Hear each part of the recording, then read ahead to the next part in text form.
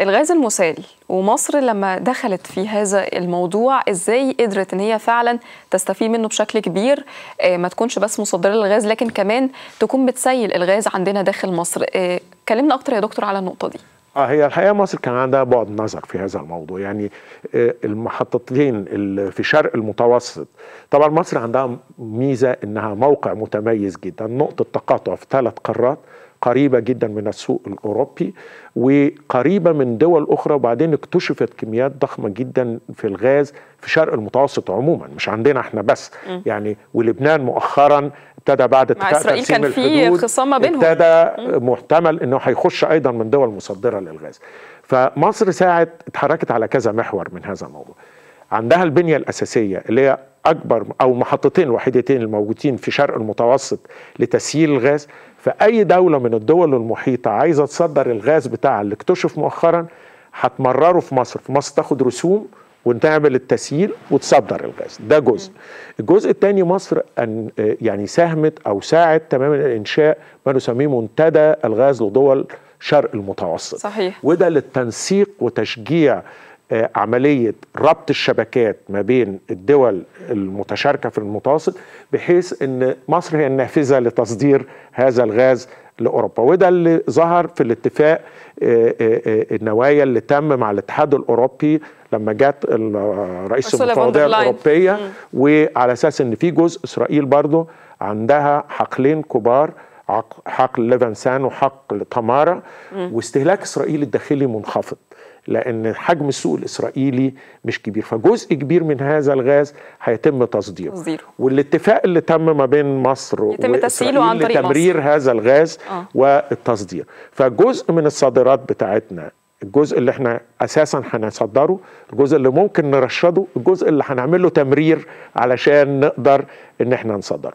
والمحطات اللي موجودة عندنا تقدر تصدر لغاية 17 مليار متر مكعب 14 مليون طن ف 17 تعادل 17 مليار متر مكعب إنما في إمكانية للتوسع وكان المخطط الأساسي م. تضاعف قدرة هذه المحطات الضعف لو حجم الطلب زاد وهذا متوقع لأن أوروبا قررت إنها مش هتاخد غاز روسي تاني م. بتتكلم روسيا كانت بتصدر 155 مليار متر مكعب أقصى حاجة روسيا أد... أوروبا قادرة تجمعها متوقع إنها هتاخد 50 من أمريكا. السنة دي 20 والسنة الجاية هيرفعوهم ل 50 في تسعة هيجوا من الجزائر. في بحر الشمال بيحاولوا إن هم يزودوا لأن بحر الشمال أيضا بيغذي أوروبا ب 40% من احتياجاتها. أوه. فبيزودوا إنتاجه بس بحر الشمال فيه منتجة في مشكلة إن الآبار فيه متقدمة.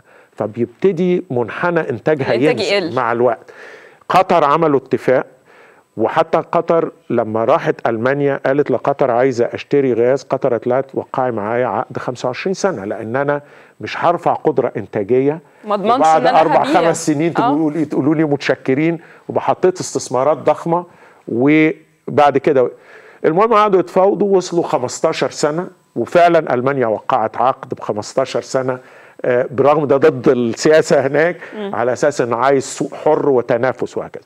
في برضه جزء من الغاز بيجيبوه من أذربيجان. إنما كل ده المجمل كام؟